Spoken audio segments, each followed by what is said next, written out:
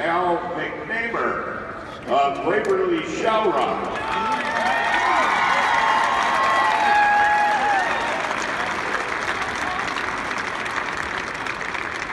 Al's been a great fan of, of the Go Hawks for many, many years.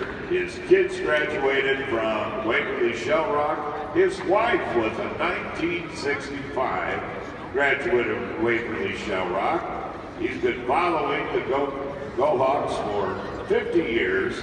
Baseball, softball, girls basketball, football. His son played baseball. You name it.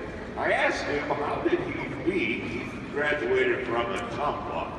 And how did he possibly beat his lovely bride? He said, well, uh, his job took him to Waverly, and the uh, waitress in the local restaurant, and the rest of it is history. That's terrific, Al. Congratulations. The fan of the game from